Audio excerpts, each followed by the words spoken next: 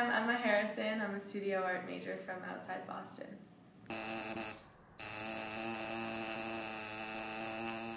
So I've always been interested in the body, and so that's kind of where it all came from. The main concept is the connection of your body to the self and identity, um, and like how embodiment fits into how you think about yourself and what you do to project yourself.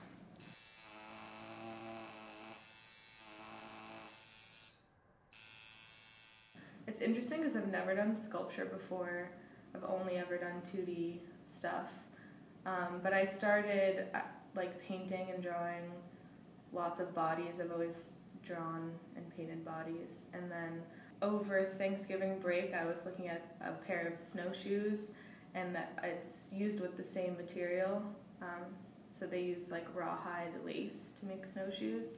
And my dad has made snowshoes before, so I asked him if if I could print on it, if it would work, if I could print on it. And so I, he was like, I don't see why not. And so I ordered it and started printing on it. And then I realized that I wanted to do bigger pieces for my comps and they w- wouldn't fit in the press because the press is too small. So I thought of other ways to market and then I thought of tattooing it.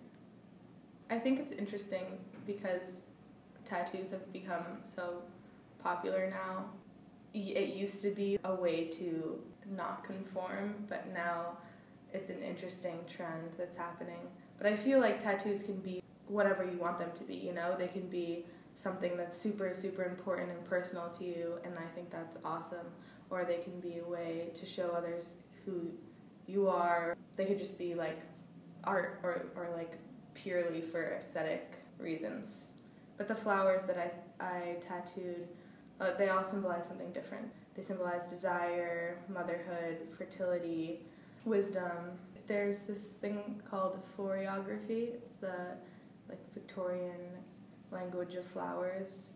Like in the Victorian times, people were starting to tattoo. Like women would have like tattoos underneath all of their extravagant clothing. That to me was like an interesting thing of trying to fit in with society, but then having this expression that no one is seeing, but it's still there. I wanted to do something that was like about femininity and self expression